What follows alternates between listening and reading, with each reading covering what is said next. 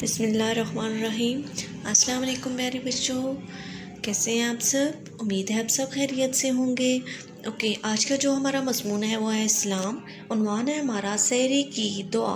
प्यारे बच्चों, जैसा कि आपको पता है कि अभी रमज़ान है और हम सुबह उठ के जब सहरी करते हैं तो उसके बाद हम एक दुआ पढ़ते हैं, जिसके बाद हम कुछ भी खा भी नहीं सकते। तो आए, आपने क्या करना है कि सहरी की दुआ याद करनी है?